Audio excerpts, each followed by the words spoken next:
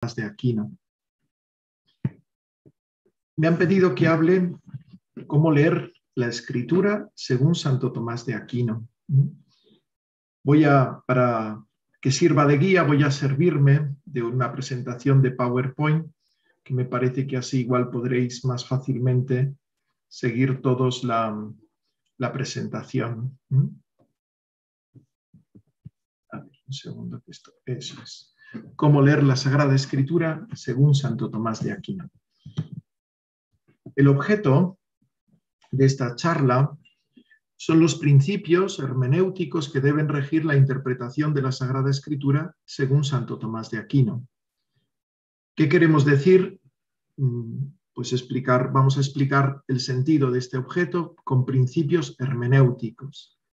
La filosofía contemporánea ha usado la palabra hermenéutica para significar la interpretación misma de un texto o de un acontecimiento, expresando, conllevando la actualización de lo que pasó eh, en el pasado con el sentido que tiene hoy. Sin embargo, en el sentido que lo usamos aquí, la palabra hermenéutica y principios hermenéuticos nos referimos a aquellos principios generales que rigen toda la interpretación bíblica. Eh, en ese sentido, lo concreto es la interpretación, en cambio los principios generales que rigen una correcta interpretación, a eso le llamamos propiamente hermenéutica. Y así tomamos en este sentido eh, la palabra hermenéutica aquí, o principios hermenéuticos. Segundo lugar, eh, debemos interpretar la Sagrada Escritura, ¿no? de la interpretación de la Sagrada Escritura. Eso es el acto concreto de leer la Sagrada Escritura. Esta interpretación puede realizarse, según Santo Tomás, como de un triple modo. En primer lugar, la interpretación de la fe, y que es prolongada en la interpretación del santo, y que se guía por la, la misma fe que hace asentir a lo que es verdadero y da de algún modo a entenderlo, y es guiado por esa connaturalidad que otorgan los dones del Espíritu Santo. Y esa es propiamente la interpretación del santo. También está la interpretación del profeta, en que Dios le da el sentido de un texto a una persona revelándole lo que quiere decir con ese texto. Y en tercer lugar tenemos la interpretación del teólogo o del exégeta, que es una interpretación científica que con los instrumentos de la razón elevados por la fe da razón del sentido de lo que ahí pone en el texto. Entonces nosotros vamos a presentar los principios hermenéuticos que deben regir la interpretación, el acto de entender lo que dice el texto de la escritura y sobre todo eh, nos detendremos un poquito más en los principios que según Santo Tomás deben regir la exégesis.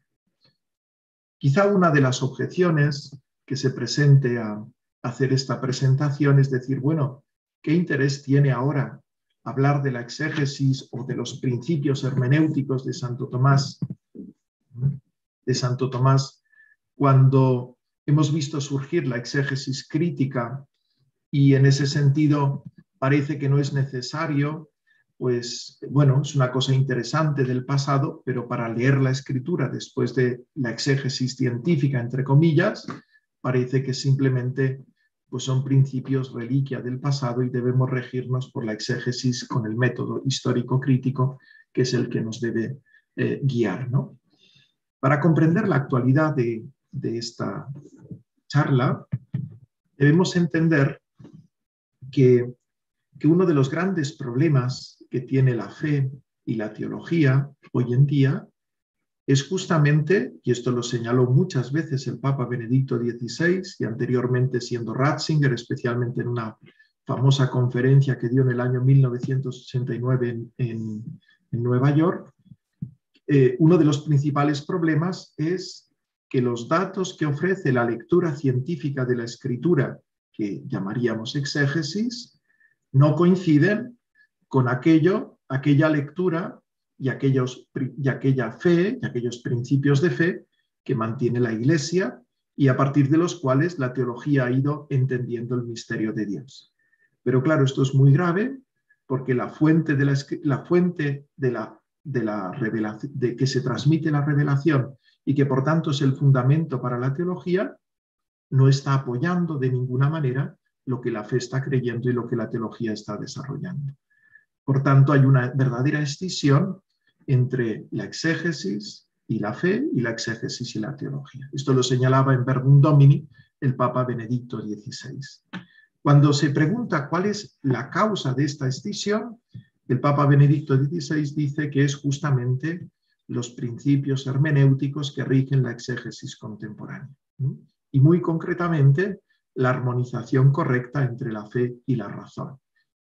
En ese sentido, además, eh, tanto en Verbum Domini como en, ese, en, esa ponencia que luego se publicó, que, pronunció en, Nueva, en Nueva York en el año 89, señalaba Santo Tomás como uno de los que podían guiar esta, eh, esta armonización de los principios de la fe y de la teología con los de la exégesis. Y en este sentido, pues creo que es de una gran actualidad volver a repensar cuáles son esos principios hermenéuticos que deben regir la recta interpretación de la escritura en orden a recuperar que realmente la escritura sea fuente de la teología y fuente más importante de la fe, que alimente la fe del pueblo de Dios. ¿Cuál es el orden que vamos a seguir para presentar estos principios hermenéuticos?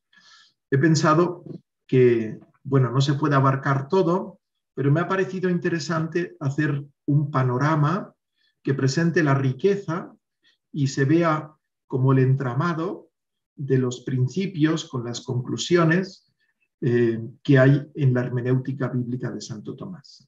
Entonces hacemos, haremos eh, cuatro, cuatro, apartados. Primero, ¿qué es interpretar la Sagrada Escritura? Segundo lugar, ¿cuáles son los presupuestos con los que el lector, para leer rectamente la Sagrada Escritura, se debe acercar a la lectura de la Escritura. Son como eso, eso que, que, precede de algún modo al acto mismo de interpretación, al proceso de interpretación, y que lo debe como reconocer y a partir de ahí como situarse correctamente para leer bien la escritura. Y en tercer lugar, ¿en qué consiste para Santo Tomás este proceso de interpretación? Y finalmente, algún apunte, porque no se puede realmente abarcar todo, sobre lo que sería para Santo Tomás la metodología exegética. Bien, y concretamente un poco la suya. Voy a omitir en esta, en esta conferencia, no, no la haré tanto situando a Santo Tomás en su contexto histórico, porque no nos daría tiempo y, me parece que es más nuclear captar aquellos principios que él ha elaborado, que sirven para siempre, más que detenernos en la configuración más concreta que pudieran tener para su época. ¿vale?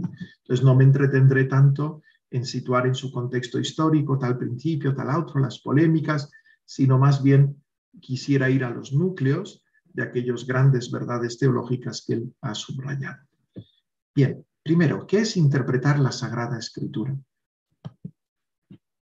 La Sagrada Escritura eh, es un libro y por tanto se sitúa en el marco de una comunicación lingüística. Y eso no hay que perderlo de vista. A través de la escritura recibimos una palabra, una palabra que, como sucede en toda comunicación, posee aquel que habla y quiere comunicar a aquel que la recibe. Y esto lo realiza a través de un signo sensible que oímos o leemos y entonces nosotros formamos aquella palabra que él tenía, el, que el, que hablaba tiene en su cabeza. Cuando nosotros pensamos que en la escritura quien habla es Dios a través de la escritura y a través de esos mediadores ¿eh? en los que Dios ha formulado su palabra en lenguaje humano, nosotros estamos recibiendo, digamos, a través de unos signos, entrando en comunión con esa misma palabra que Dios tiene en su mente y que nos comunica. ¿no? Es, por tanto, una comunicación en esa misma palabra que el otro posee. Y eso fundamental, esto es eh, fundamental para Santo Tomás en toda su concepción del lenguaje y de la comunicación.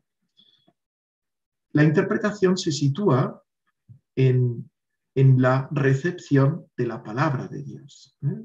No es la emisión, no está pues eh, simplemente, por ejemplo, Moisés, Jesucristo, esos están Dios hablando a través de ellos. Pero la escritura, la interpretación de la escritura es la recepción de esa palabra. La palabra de Dios, eh, la recepción de esta palabra tiene como un triple proceso. El paso de la letra al sentido, el paso del sentido a la verdad, el paso de la verdad a la verdad amada.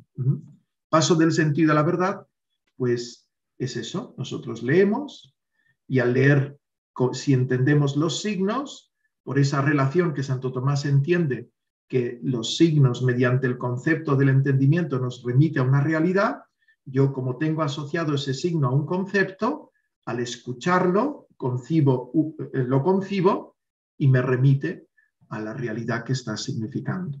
Y entonces ese es el paso ¿no? de la letra al sentido.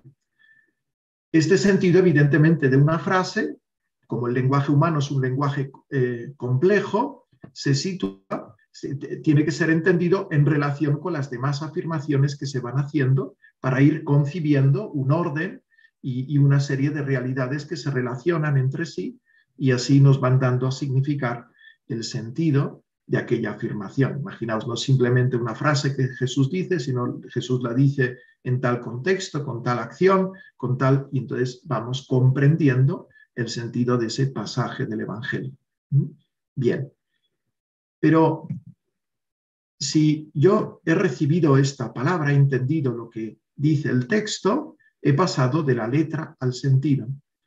Pero no sé si eso es verdad. Yo puedo saber perfectamente lo que un profesor ha enseñado en clase y no saber si es verdad.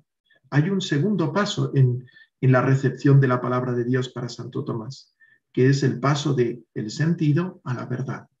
En este caso, como eh, las verdades que se nos transmiten en la escritura son verdades que superan el alcance de nuestra razón, esta verdad es recibida por la autoridad de Dios que revela y se tiene por verdadera precisamente porque se sabe que Dios es quien habla aquí. En ese sentido, es esta experiencia de que uno puede decir esto es así.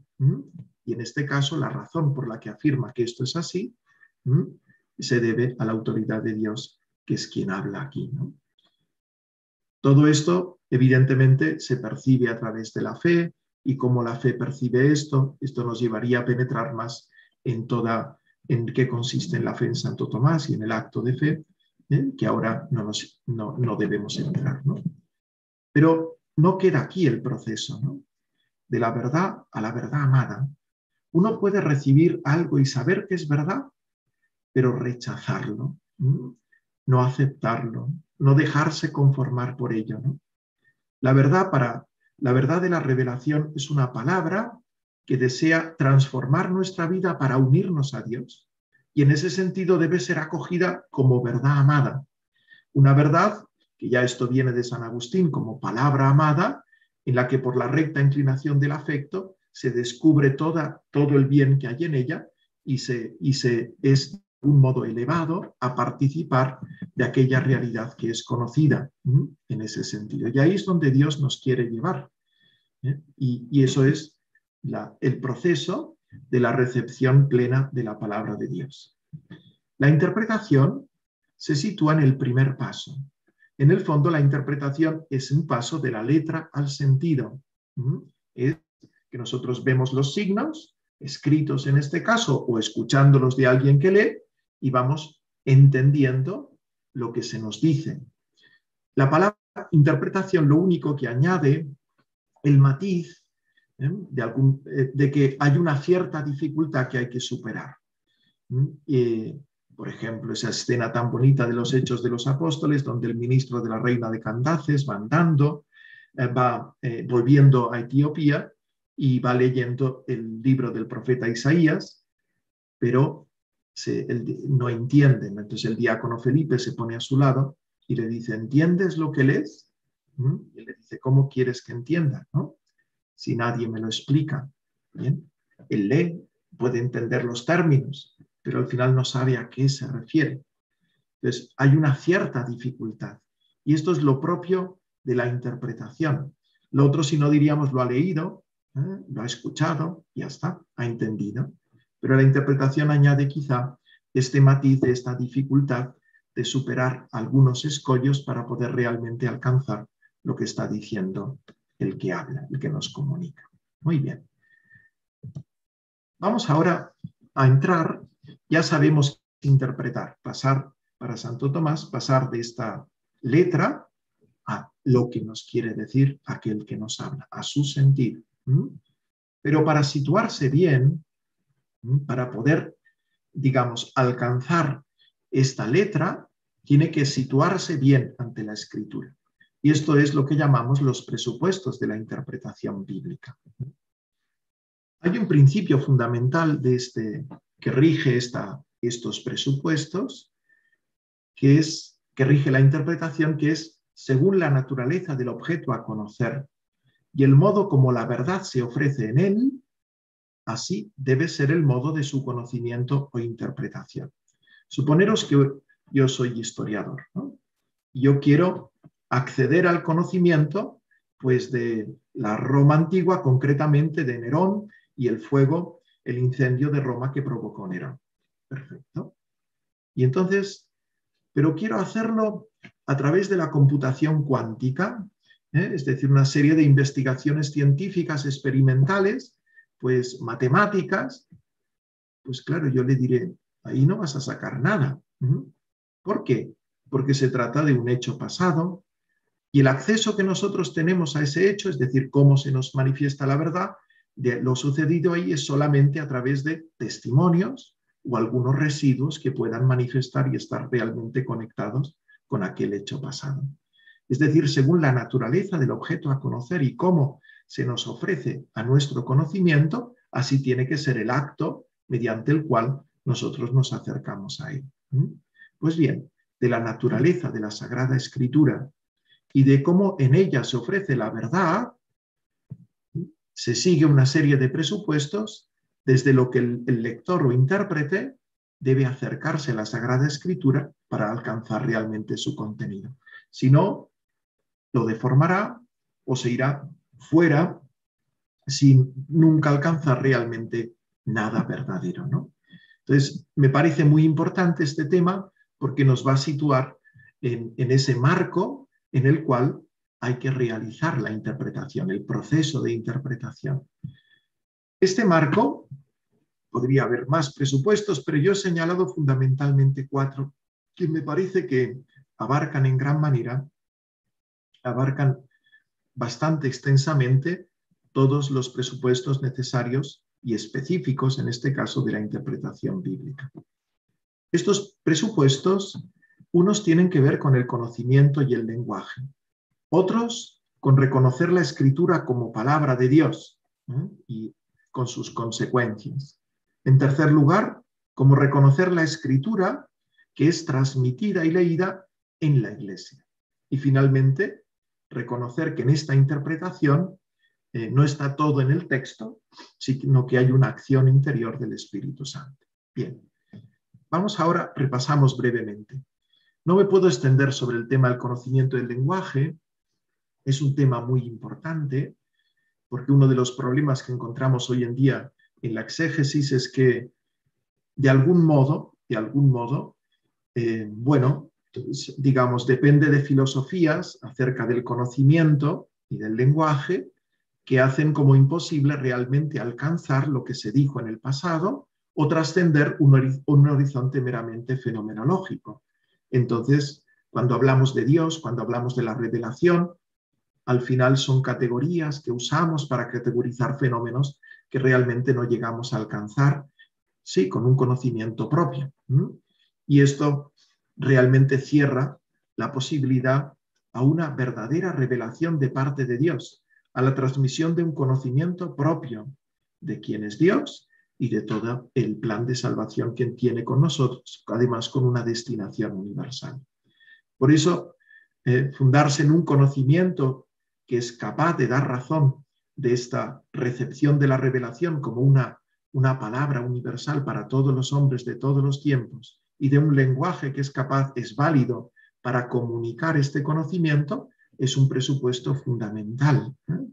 Vemos muchas veces exégetas que se pierden pues, en las categorías de la época, de no sé qué, pero precisamente captar la dificultad de trascender las categorías es un signo de que el entendimiento humano es capaz de ir más allá y de captar algo que trasciende las categorías eh, históricas concretas y nos abre a un horizonte de verdad universal. Por eso hay una frase muy curiosa de esta conferencia de Ratzinger, la Biblia que se tituló La Biblia en conflicto, y que va en esta línea y dice Santo, eh, y es una de las razones por las que él recomienda a Santo Tomás. Dice, Santo Tomás de Aquino enmarcó estas dos ideas, dos ideas que ha presentado, importantes para resolver el conflicto de la relación entre fe y razón, en los principios de analogía y participación. La analogía es este pensamiento del eh, análogo pensamiento, eh, es instrumento de la razón que, que nos hace capaz de abrirnos análogamente desde un conocimiento fundado en el ser eh, a la universalidad de todo conocimiento y su fundamento eh, ontológico es la participación. Y dice así, hizo posible una filosofía abierta que es capaz de aceptar el fenómeno bíblico en toda su radicalidad. Bien, me parece una gran afirmación pues, de, del cardenal Ratzinger en su tiempo, Benedicto XVI. En segundo lugar, la escritura palabra de Dios. Cuando un intérprete se sitúa ante la escritura, debe reconocer que está ante la palabra de Dios. Pero no es de cualquier modo, sino es la palabra, en primer lugar, revelada. Es decir, Dios ha intervenido en la historia dando a conocer una serie de misterios a través de los profetas, revelándose a sí mismo y el camino de la salvación a través de lo que Santo Tomás llama profetas, que son todos los mediadores de la revelación, y en su plenitud de Jesucristo y de los apóstoles, para la salvación del mundo, para conducir el hombre a la bienaventuranza. Entonces, es muy importante esta idea, eh, la palabra de Dios y tener en cuenta la revelación. Y, y la escritura es la transmisión de esta revelación, transmitida a los hombres en un conjunto de libros escritos por autores inspirados por el Espíritu Santo. Aquí Santo Tomás subraya, eh, y ahora yo no entro porque esto profesor Rocha ya os lo explicó, em, subraya este carácter de la mediación, del quicio, que ejerce el carisma profético en esta revelación, y subraya también esta inspiración que constituye a Dios en autor en un sentido complementario con esta transmisión de la revelación. Eh, bien, por eso el escrito, aunque es de múltiples autores, es uno por la unidad de autor y por la unidad de designio salvífico. De que la escritura sea palabra de Dios se siguen una serie de consecuencias. Primera es que es verdadera, y esto es, está en Santo Tomás por todas partes, ¿no? Y es algo que comparte plenamente con la misma escritura y la tradición y por otra parte santa. Y, pero además es una verdad para la salvación según un orden que, se encuentra, que encuentra su plenitud en Cristo y que es preparado, figurado y anunciado en el Antiguo Testamento. O sea que en ese sentido no se trata de palabra de Dios unívocamente, uniformemente, sino que esta palabra tiene una plenitud en Cristo, porque es una palabra para la salvación. Y la salvación solo se revela plenamente en Cristo porque solamente en Él es eh, aquella verdad, como el hombre debe conducirse a la salvación entendiendo y conociendo, que realmente nos introduce en la salvación. Lo demás es preparación, figura y profecía. Pero además hay un tercer elemento. La escritura, como palabra de Dios, se expresa en un sentido evidentemente es el sentido de la letra, porque Dios ha tomado un lenguaje humano y, lo ha elevado para expresar misterios que están por encima de la razón humana, pero lo ha expresado pues según el modo del lenguaje humano, que es que a través de las letras se, concibe un concepto que habla de la realidad. Pero en este caso, ha usado instrumentos, o sea, los profetas, que han hablado entendiendo como instrumentos vivos y racionales, pero Dios también a veces dice más de lo que el autor haya podido entender. Y en ese sentido, hay un plus de significación que remite a la autoría divina directamente. Y por eso hay que tener en cuenta que, que además de lo que el autor pudo entender, habiendo sido elevado en su entendimiento para, para entender y transmitir, al mismo tiempo hay algo que a veces Dios va más allá queriéndolo comunicar y que se revela a la luz de la plenitud de la revelación. Y finalmente, además, hay una serie de sentidos, precisamente por ser palabra de Dios, espirituales, en que las realidades significadas por el sentido literal, a su vez, significan otras cosas. Y en una conexión no necesaria, porque yo podría significar una cosa como necesariamente está conecta con la otra, por su propia naturaleza, de algún modo podría estar preparando ese signo. Pero es una relación dentro de la historia y por tanto de realidades que son, eh, que son que no tienen una relación necesaria entre ellas. Pues el sacrificio de Abraham, de Isaac por parte de Abraham y la crucifixión de nuestro Señor Jesucristo. No hay una conexión necesaria, pero Dios ha hecho que al significar el sacrificio de Abraham, a su vez ese sacrificio signifique como figura el sacrificio de Cristo. Y todo esto está en la escritura, precisamente por ser palabra de Dios. Y el exégeta que se acerca a leer la escritura debe reconocer la escritura como palabra de Dios, verdadera, santa, para nuestra salvación, cuya plenitud está en Cristo, en esta unidad que posee y en esa pluralidad de significaciones ¿eh? y con esa riqueza de sentido que va incluso más allá de lo que el autor humano haya a veces captado. Bien, el siguiente presupuesto es que la escritura es transmitida en la iglesia. Cuando el exégeta se sitúa o el intérprete se sitúa para leer la escritura, debe saber que esta escritura, eh, para comprenderla, aparte de que su misma transmisión en cuanto a escritura solo la realiza la iglesia, pero para entenderla y para interpretarla, tiene que ser leída en el seno de la Iglesia, en el contexto de la Iglesia. Diríamos, en el seno de su tradición viva. Este contexto es un contexto orgánico, es decir, es como el cuerpo humano. No se trata que todos son iguales, y ahora como lo lee este, como lo lee aquel, sino que hay diversas funciones. Y una es la de los santos padres, que tienen un tipo de autoridad para leer la escritura, otra es el magisterio de la iglesia, otras son los teólogos, etcétera, etcétera. ¿eh? Y en ese sentido, en esa otras son los santos, y en ese sentido, en esa riqueza, cada uno según su función, ahí es donde yo debo integrarme para leer la iglesia. Al hacerlo, no someto la palabra de Dios a una palabra humana, que es la típica acusación del mundo protestante, sino que creo que en la iglesia vive el Espíritu Santo y actúa en ella. De hecho, Santo Tomás se formula una pregunta en un momento que dice, ¿se puede decir credo in ecclesiam?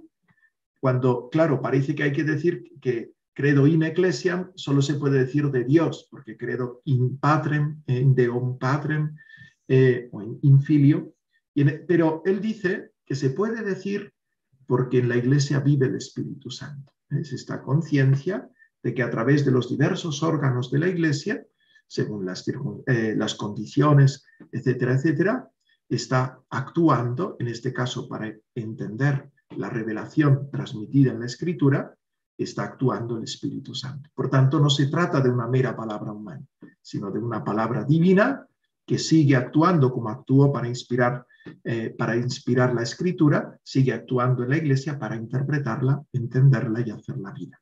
Bien, finalmente, Además, este Espíritu Santo no solamente vive fuera, sino que vive dentro de nosotros. Y no solamente para la aceptación de la Escritura como palabra de Dios necesitamos la moción del Espíritu Santo, sino también para su interpretación más cierta. Este es un tema complejo, habrá que precisar, pero Santo Tomás parte de este principio. Y, cuando habla de la ley nueva, él dice así, ahora bien, lo principal de la ley del Nuevo Testamento y en lo que está toda su virtud es la gracia del Espíritu Santo, que se da por la fe en Cristo. Por consiguiente, la ley nueva principalmente es la misma gracia del Espíritu Santo, que se da a los fieles de Cristo. Tiene, sin embargo, la ley nueva ciertos preceptos como dispositivos para recibir la gracia del Espíritu Santo y ordenados al uso de la misma gracia, que son como secundarios en la ley nueva, de los cuales ha sido necesario que fueran instruidos los fieles de Cristo, tanto de palabra como por escrito, ya sobre lo que se ha de creer como lo que se ha de obrar. Fijaos bien que Santo Tomás, y en otros contextos lo desarrolla más, entiende que el mismo texto de la Escritura no es lo formal, sino lo más formal es la gracia interior del Espíritu Santo. Esa es la que guía en la interpretación. El texto es dispositivo en el sentido que su lectura permite adentrarnos, centrarnos en el objeto, pero su comprensión, su virtud para comprender radica más en la gracia del Espíritu Santo que en, que en, el mismo texto en cuanto tal eh, transmitido. Fijaos que aquí cuando hablamos de la gracia del Espíritu Santo, hay, esta gracia del Espíritu Santo se despliega primeramente en la fe, pero después se despliegan los dones del Espíritu Santo.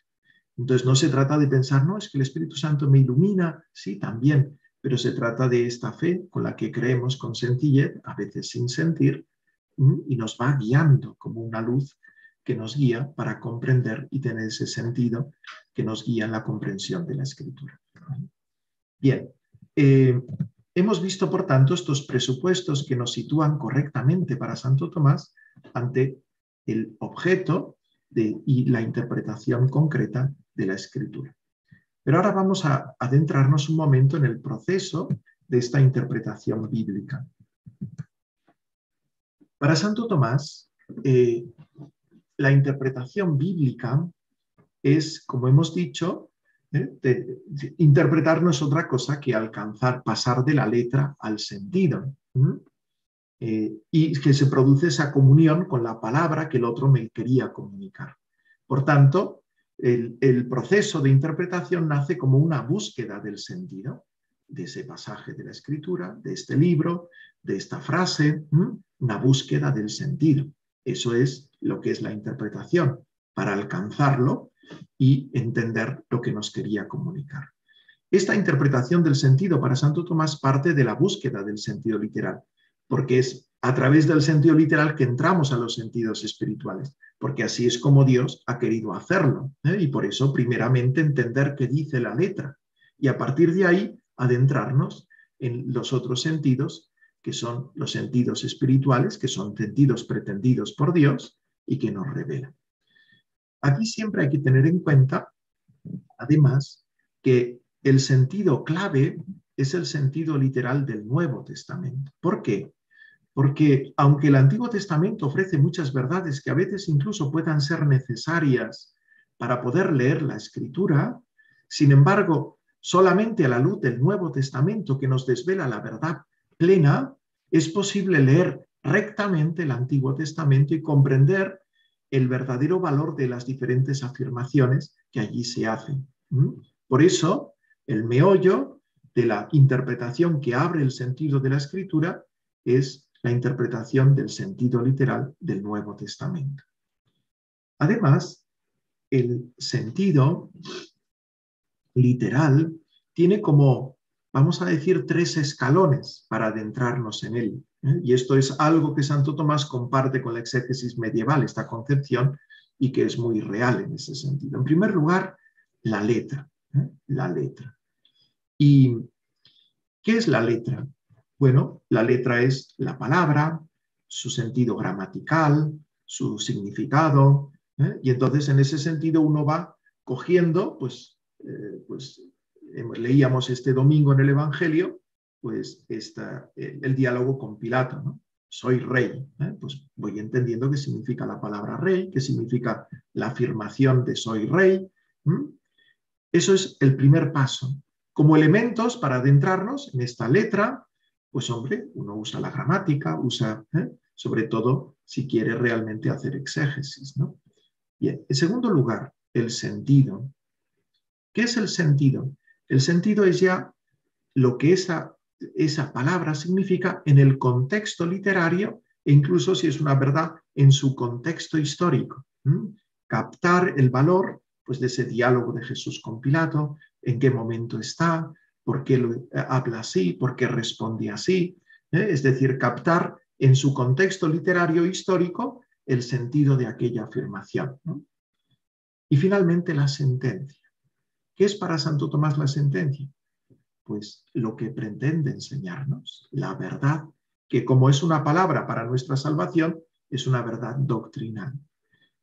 Hoy la exégesis muchas veces se queda en su sentido contextual, muchas veces se pierde, no llega a ese sentido doctrinal.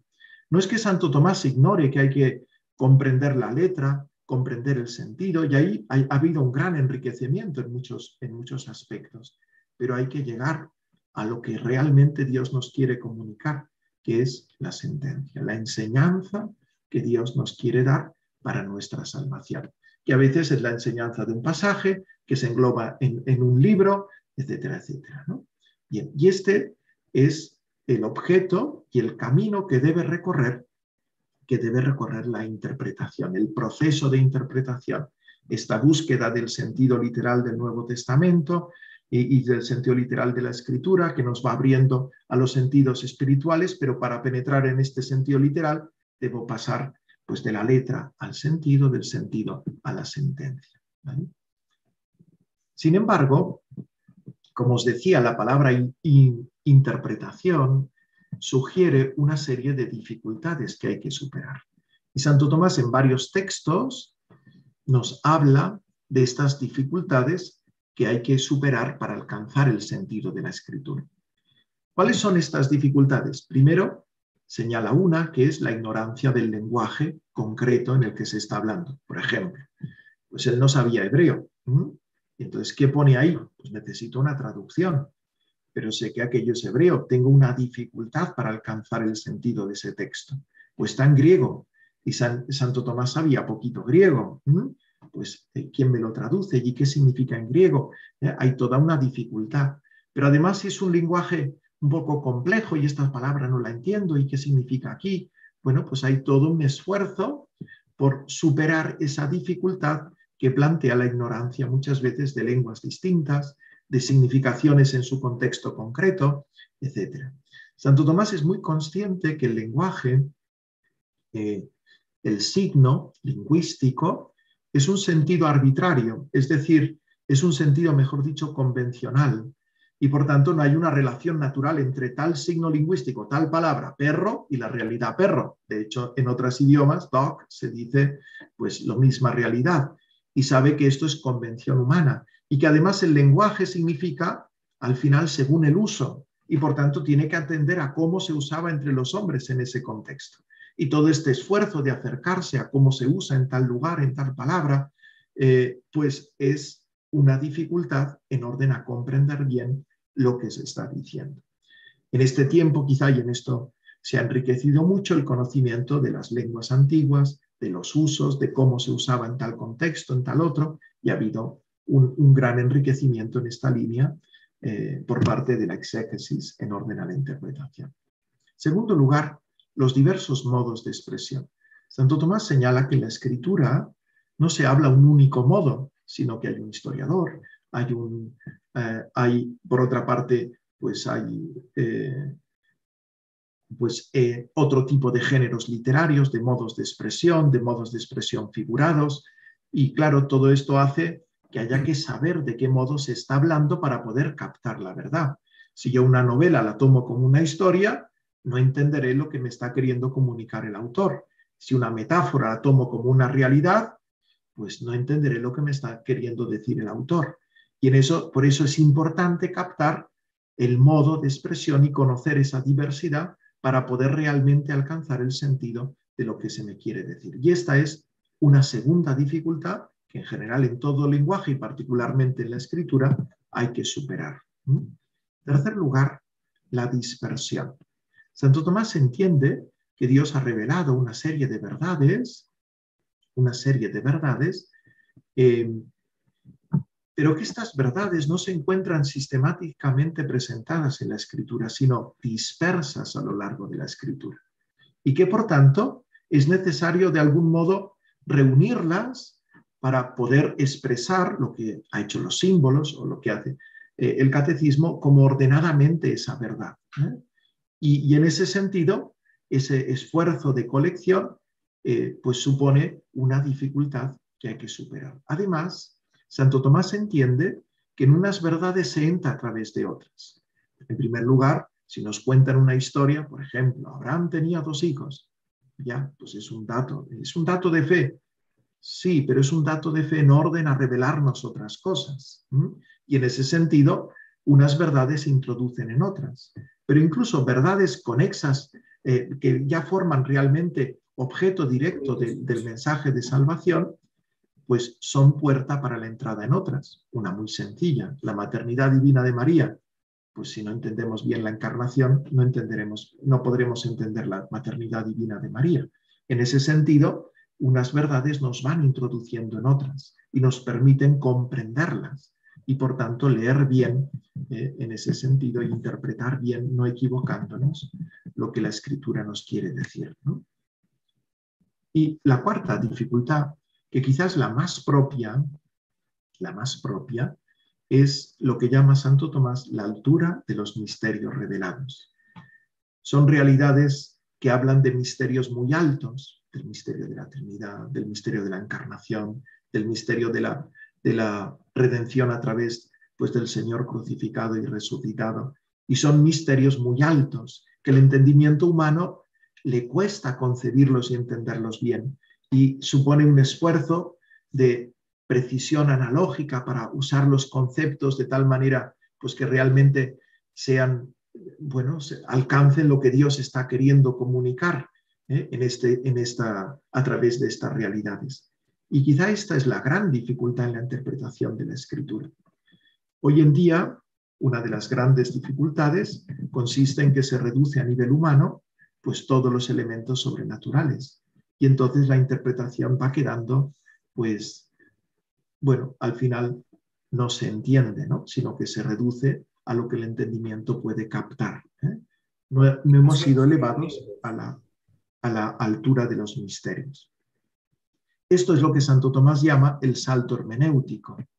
Eh, no, no le llaman el salto, le llaman modernamente, que es el paso a esta inteligencia espiritual de la escritura. No se trata del sentido espiritual, sino de entender espiritualmente el sentido literal o los sentidos espirituales y no entenderlos literal o carnalmente. Fijaos bien, un texto muy bonito de la, última cena, Jesús les dice, os he hablado en proverbios, y Santo Tomás dice, esta es la diferencia entre el hombre espiritual y el hombre animal, que el hombre animal toma las palabras espirituales como metáforas no porque estén dichas metafóricamente, sino porque su mente, no siendo capaz de elevarse por encima de las cosas corporales, son oscuras para él. Y cita un texto de San Pablo, el hombre animal no percibe las cosas que son del espíritu. El hombre espiritual, por el contrario, toma las cosas espirituales como espirituales. Por su parte, los discípulos eran al principio como animales, y las cosas que les eran dichas eran oscuras para ellos como proverbios. Pero después, que fueron hechos espirituales por Cristo y enseñados por el Espíritu Santo, captaban claramente las cosas espirituales. Bien, cuando Jesús dice, tomad y comed, esto es mi cuerpo, pues si no son capaces de penetrar en el misterio y el poder de Dios y el sentido verdadero, dirán es una metáfora. Él habla de que es como si fuera su cuerpo, pero el hombre espiritual es capaz de elevarse para comprender eh, el misterio que hay, del cual ahí se está hablando. Y eso supone no simplemente una disposición espiritual, sino también una purificación de la mente y purificación de los conceptos en orden a percibir esto. Muy bien. Vamos ahora brevemente, simplemente dar una pequeña, una pequeña insinuación, hablar de la metodología exegética de Santo Tomás. Os explicaba antes que Santo Tomás entiende que la escritura la lee el fiel, que guiado por la luz del Espíritu Santo, entiende con una luz pues lo que se está diciendo ahí. Y esto además es perfeccionado por, por los dones del Espíritu Santo, que le dan una connaturalidad. Uno piensa, por ejemplo, en la Madre Teresa de Calcuta, ¿no? Y cómo leyó ese texto del tengo sed. No era una exégeta, no llegó a ello por un razonamiento y viendo el contexto del Evangelio, y por tanto esto tiene que significar el deseo de amor de Jesús que tiene de nosotros, y es un grito del deseo de darnos el Espíritu Santo, que en el fondo es introducirnos en su amor y amarnos. No, no ella llegó así, ella llega una mezcla entre un carisma profético, una visión, y una especie de connaturalidad con ese misterio que le dio el Espíritu Santo. Y ella lo leía y lo explicaba. Y ha hecho un bien inmenso a la iglesia y ha hecho pensar a la iglesia realmente sobre este texto. Y de algún modo a veces los santos son como los que ya han subido a la montaña y están arriba. No han hecho el camino, los han subido. Y el que hace el camino es el fiel que lee o sobre todo el exégeta, que tiene que además dar razón de aquello eh, de que ahí realmente pone eso con los instrumentos de la razón humana elevados por la fe. Los instrumentos de la razón humana pues son esos, son conceptos, juicios, razonamientos y la argumentación, la definición, la división, bueno, lo que es propio de la razón humana en, su ejercicio de, búsqueda de la verdad. Bien. Yo simplemente quiero señalar, porque ayuda, Santo Tomás eh, en su modo exegético, se, sirve de una cosa que llama la divisio textus, que es, y si os acercáis a cualquier comentario de Santo Tomás, os encontraréis con él. Y empieza así, por ejemplo, el comentario de San Juan que he puesto aquí. El evangelista Juan, como se ha dicho, pretende principalmente mostrar la divinidad del Verbo encarnado. Y por ello divide este evangelio en dos partes. Primero, insinúa la divinidad de Cristo. Segundo, la manifiesta por aquellas cosas que realizó en la carne. Eh, y aquí en el capítulo segundo y al tercer día. Acerca de lo primero hace dos cosas. Primero propone la divinidad de Cristo. Segundo pone el modo por el cual la divinidad de Cristo se nos ha hecho manifiesta. Y a partir de aquí que dice, he aquí que vimos y vimos su gloria, etc.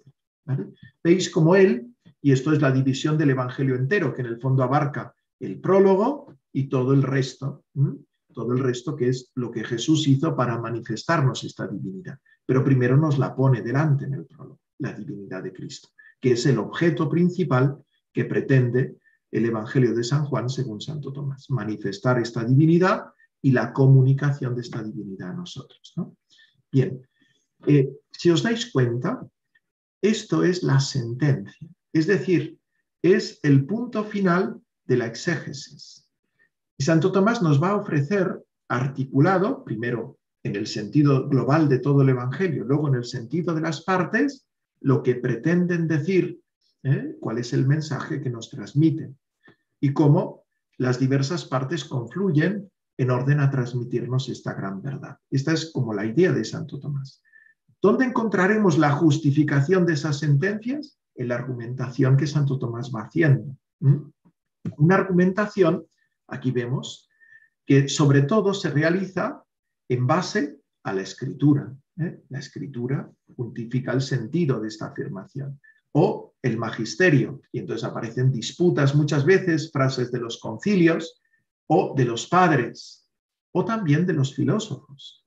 De tal manera que la filosofía se, integra para poder comprender el sentido eh, de la revelación a modo de ciencia subordinada que sirve a la inteligencia de la fe. Un ejemplo sencillo, dice, para el entendimiento de este nombre, verbum, estamos en el capítulo primero de San Juan, hay que saber que según el filósofo, aquellas cosas que están en la voz son signo de aquellas cosas que están en el alma, ¿eh? de sus pasiones.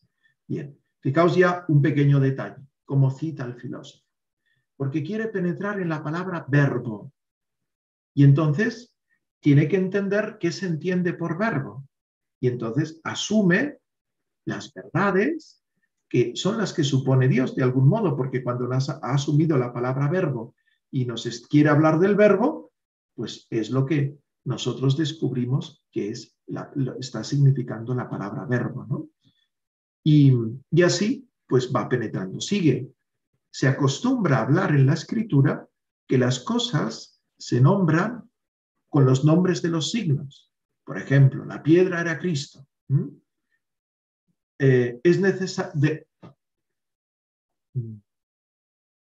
es necesario, por tanto, que aquello que es intrínseco en nuestra alma, que se significa por la voz exterior, se le llame verbo. Y entonces pasa a decir que la palabra exterior es signo de la palabra interior, que es más propiamente verbo. Bien, entonces yo lo único que me interesa es ver cómo va colocando textos de la escritura para argumentar, ¿eh? subsume la riqueza de los filósofos ¿eh? y en otros lugares habla de San Agustín aquí abajo y por ello San Agustín pone la semejanza de la Trinidad en el alma, ¿eh? va asumiendo todos estos, estos elementos que a partir de los cuales argumenta para poder alcanzar el sentido de la escritura, lo que quiere decir ese texto. ¿no? Bien, eh, fijaos que aquí son argumentos sobrenaturales tomados de la escritura, tomados del magisterio, tomados de los padres, con esa confianza de que la escritura está inspirada y transmite una misma verdad, que el, magisterio es intérprete autorizado de esta verdad, que los padres iluminados por el Espíritu Santo leyeron la escritura y eso le permite leer la escritura en ese sentido en la iglesia.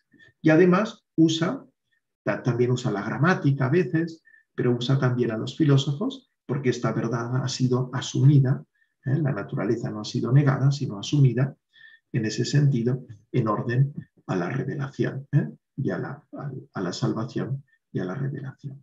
Muy bien, pues yo no quería decir nada más, sino situarnos en ese marco, ver la riqueza de lo que es para Santo Tomás interpretar la Sagrada Escritura repasando esos presupuestos de la interpretación bíblica, adentrándonos un poco en el proceso de la interpretación tal como la entiende Santo Tomás y señalando simplemente alguna pequeña eh, nota de lo que sería la metodología exegética de Santo Tomás, que daría muchísimo más para hablar. Pues nada más, muchas gracias. Pues muchísimas gracias, eh, profesor Ignacio, por la ponencia. Eh, la verdad es que también pues, ha sido muy clara y yo creo que también pues, muy iluminadora para aquellos que la han seguido.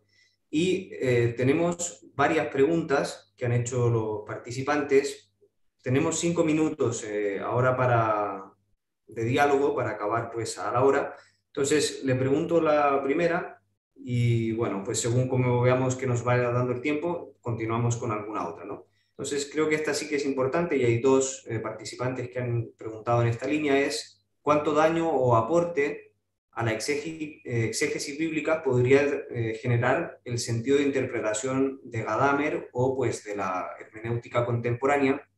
Y en esta línea también, cómo se debe dar una recta interpretación de la Sagrada Escritura teniendo en consideración que han querido afirmar verdaderamente los agiógrafos y que ha querido manifestar Dios a partir de las palabras humanas.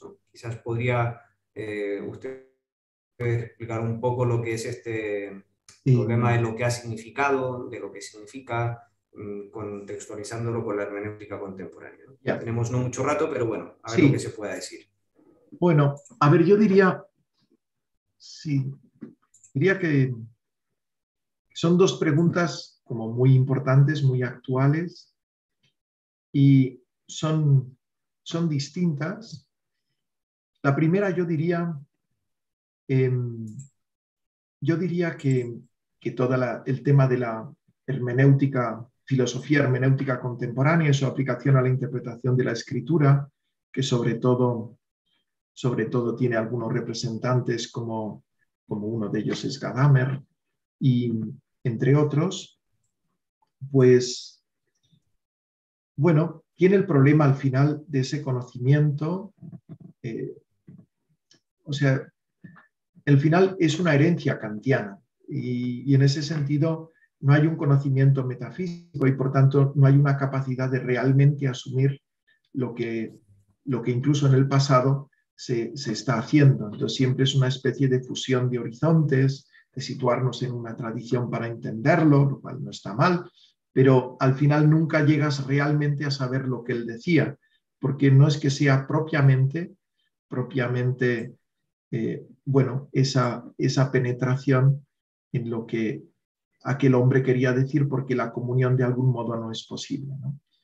En cuanto a lo otro, de qué manera se revela lo que Dios ha querido decir a través de la palabra humana, si la palabra divina va más allá, hay que tener en cuenta que la plenitud de la revelación se ofrece en Cristo y allí la coincidencia entre lo que los autores humanos han querido decir y lo que Dios ha querido revelar con esa palabra es prácticamente idéntica. En ese sentido, eh, penetrar en el Nuevo Testamento y lo que los autores humanos elevados por la luz eh, de Dios han dicho, de algún modo nos sitúa en esa plenitud de la revelación y nos abre al conocimiento pues de, de, lo que en el pasado, en la palabra pues de los profetas, Dios haya querido decir de más en el sentido literal. En cuanto a los sentidos espirituales, es un tema mucho más amplio, mucho más amplio, y, y eso nos llevaría a hablar de qué modo se accede a los sentidos espirituales, en qué medida un sentido espiritual es realmente bíblico o es una mera acomodación que nosotros hacemos, pero esto ya nos llevaría como más lejos. Muy bien, pues hay otra pregunta que también eh, puede ser interesante, es que la analogía, como dijo durante la exposición, es clave en la escolástica de Santo Tomás, y cómo se puede asumir y aplicar la analogía verbi para una hermenéutica actual. ¿Qué sentido tendría y qué, cómo podría aplicarse? a ver,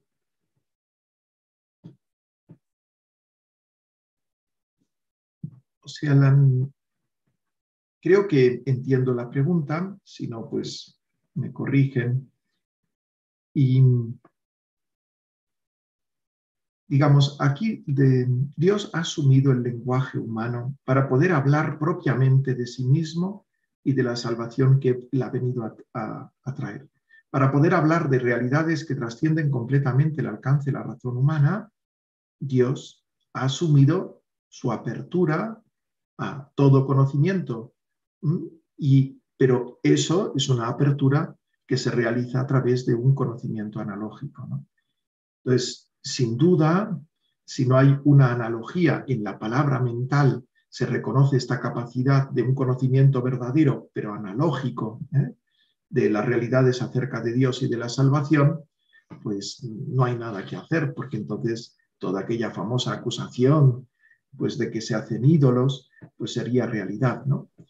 Em, entonces, en la escritura es lo mismo, porque nos habla de Dios, de sus misterios, entonces, si uno no va purificando los conceptos para quitar de aquello, las, eh, digamos, el modo humano que, que, esos conceptos pueden tener, por ejemplo, hijo de Dios. Claro, nuestra experiencia de la filiación es una, tiene que ver con la carnalidad, y, pero en Dios no hay carne. Entonces, ¿cómo puede ser que haya un hijo? Entonces ahí está toda la purificación del concepto de filiación para que pueda ser dicho de Dios.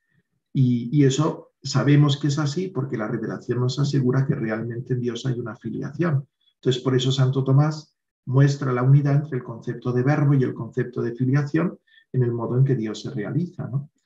Bien, yo creo que es clave, es completamente clave para hacer una lectura realmente que, alcance la altura de esos misterios eh, de los que la escritura nos quiere hablar.